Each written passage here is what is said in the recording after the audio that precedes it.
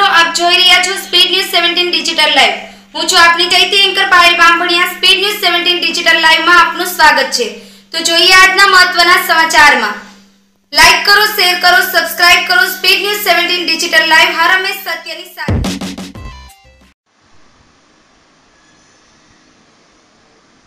વડોદરા શહેરમાં આવેલ કારેલીબાગ પાણીની ટાંકી ચાર રસ્તા પાસે વારંવાર પીવાના શુદ્ધ પાણીની લાઇનમાં એક જગ્યા ઉપર ચારથી પાંચ વાર લીકેજ થતું જોવા મળે છે.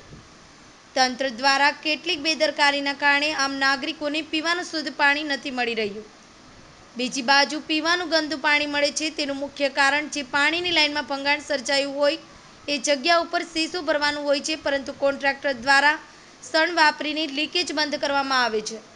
વડોદરા સ્માર્ટ સિટી ગત વર્ષે છ ક્રમાંકે હતું પરંતુ આ કોન્ટ્રાક્ટરોની બેદરકારીના કારણે હાલ વીસ ક્રમાંકે આવ્યું છે. વડોદરા શહેરના mayor Shri, commissioner Shri, chairman Shri એ આ તમામ અધિકારીઓને તાત્કાલિક સૂચના આપવી જોઈએ અને આ તમામ કોન્ટ્રાક્ટરો સામે દંડની જોગવાઈ કરવી જોઈએ અથવા તો બ્લેકલિસ્ટ કરવા જોઈએ જેવી પરમાર કલમેશ, કમલેશ સામાજિક કાર્યકરની માંગ છે.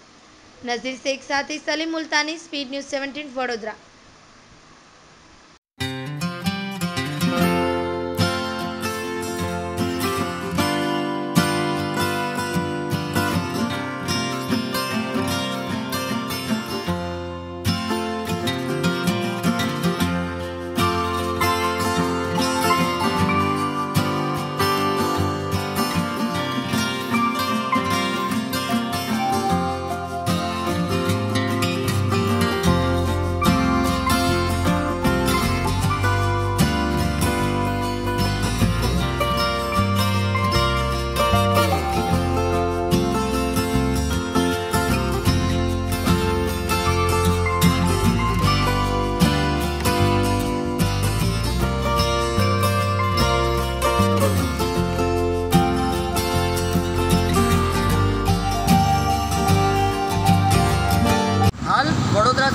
જે કારેલીબાગ પાણીની ટાંકી પાસેનો જે વિસ્તાર છે, આ જગ્યા ઉપર વારંવાર એક જ જગ્યા ઉપર ચારથી પાંચ વાર લીકેજ થતા હોય છે.